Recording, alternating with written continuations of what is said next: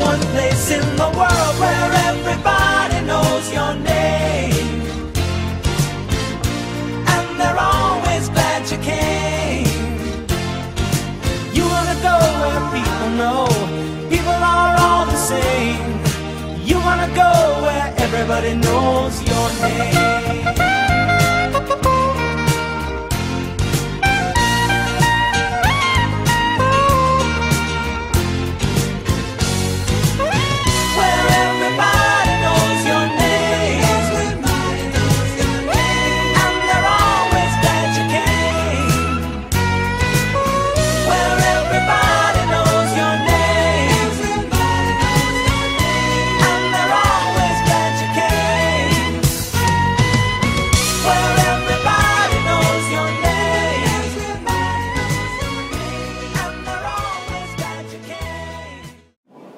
Hi guys, I'm Victor. And I'm Griffin, and this is LVTV. Have you ever wondered how to maintain a healthy relationship? All the time. Didn't you make a video about that? I did. Let's check it out.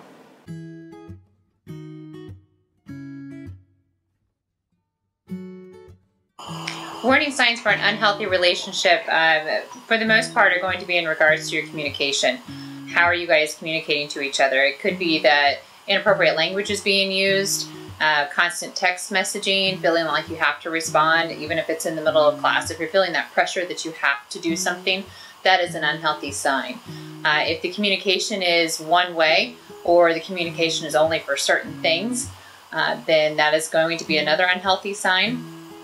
Um, obviously, hitting, name calling, anything in regards to that, or feeling like you have to engage in sex, for example, could be, um, should be a huge warning sign for you that that is an abusive behavior. Uh, in my opinion, go out and have fun. Don't feel like you have to um, sit at home with a person because that oftentimes leads to inappropriate decisions. Uh, communicating is huge. Making sure that you guys have positive communication and good communication. You're talking about your day, you're talking about your feelings, and it's not one sided, it's not one person always going on and on about one thing. Uh, but you guys are going out and you're having fun, you're doing things together, and you can talk. You're picking up the phone, you're, you're talking, you're not just texting. All right, I'm here with Coach Sachin. Coach Sachin, what's the key to being in a healthy relationship? Uh, I think it's the golden rule, just to treat others the way that you would like to be treated. You heard it from Coach Sachin. There you go. I'm here with Caden and Lizzie, and they've been dating for almost a year now. So, what's the key to a healthy relationship? Good communication. Just always stand there with, there with your girl. I'm here with JoJo. Yeah. JoJo, what's some tips about healthy relationships? Loyalty. Yeah, always be loyal. All right, I'm here with Glowy. They've been dating for five months. How do you guys keep a healthy relationship? milkshakes. Freddy's. She said face. They like food, obviously. So you guys may be wondering why we haven't been putting up broadcasts lately. We've been focused on our students. Yeah, I've met a couple good ones and a couple bad ones, but let's check out the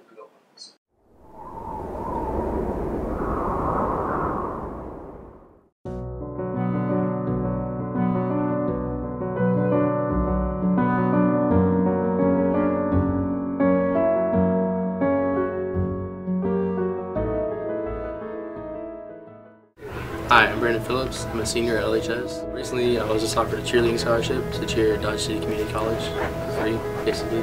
So it's, it's a huge opportunity, and uh, I really, I really think about taking it. Join the Navy, um, and I would rather be doing aviation machinist mate or master arms. It's made me want to work harder in cheerleading and become better, just so I can, you know, be the best I can be when I go to Dodge City.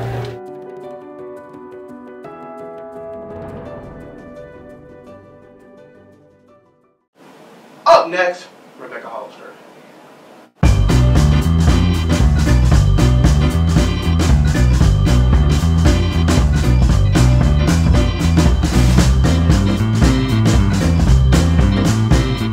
started the blog when I was 12 and it was because my sister had one and back then I just wanted to beat her at everything.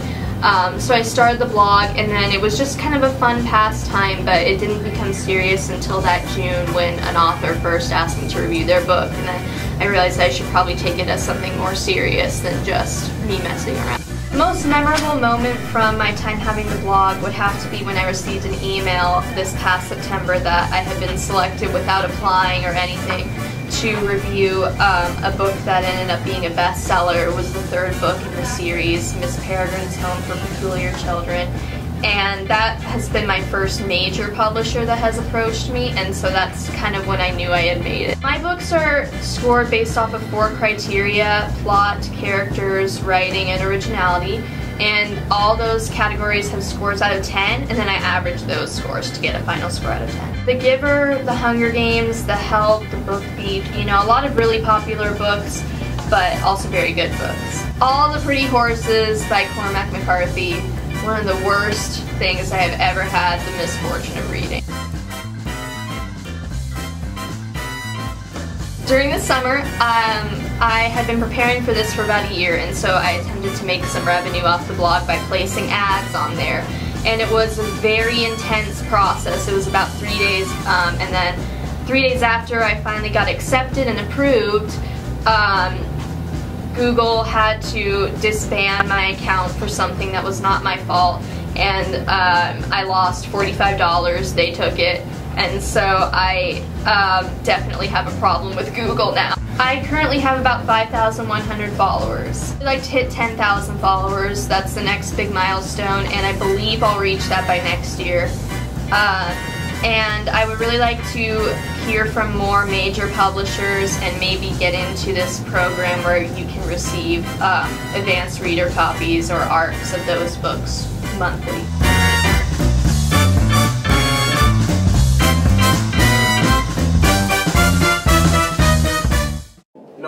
I should have taken auto tech because my car is broken. Didn't you make another video about it? Yeah, I made a segment about it. I went down there to see what was going on, and I had an interview with Mr. Bergen. Just let, let's let's look at it. How has Autotech benefited you in high school? It's benefited me by uh, giving me a job to, to work at after school hours, and uh, I got an ASE certifications already, so it's very beneficial for uh, a job force afterwards after high school. Okay, so Mr. Bergens, how many years have you been doing Autotech? Here in the high school, um, this is my fifth year teaching. Alright, so uh, how would it benefit like graduates for like after they graduate high school?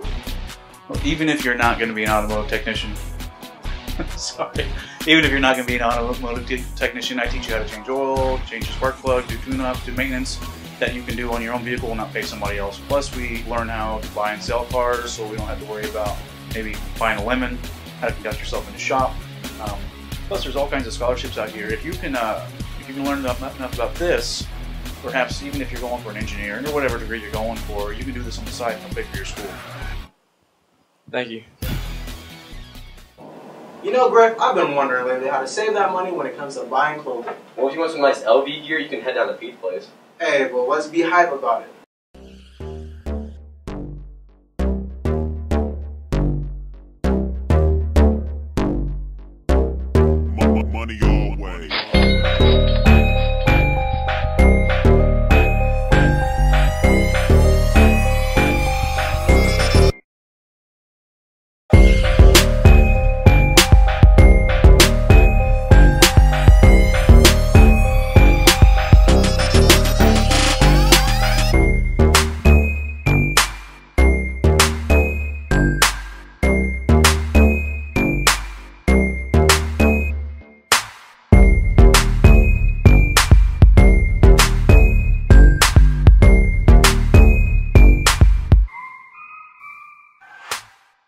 And that's been it from us. I'm Griffin.